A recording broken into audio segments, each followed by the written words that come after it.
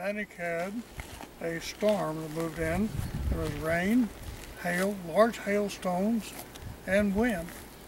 And uh, probably to the north, there was a cloud burst up on the mountain, and the rain came down the gulch and washed out the boardwalks, washed away some of the buildings, One building actually, part of it. and it has done a lot of destruction. So Bannack Days is is not going to be Bannack Days this year. Boardwalk and the segments of it has disappeared and it's washed away. Um, most all of the buildings on the north side have mud in them where the water came down such force and washed through there.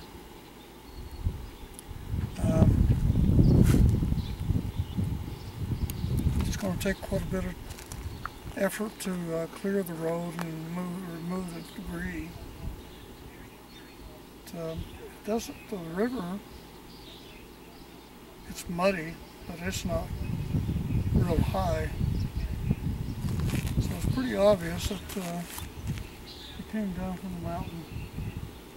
And there's still water coming down, trickling down.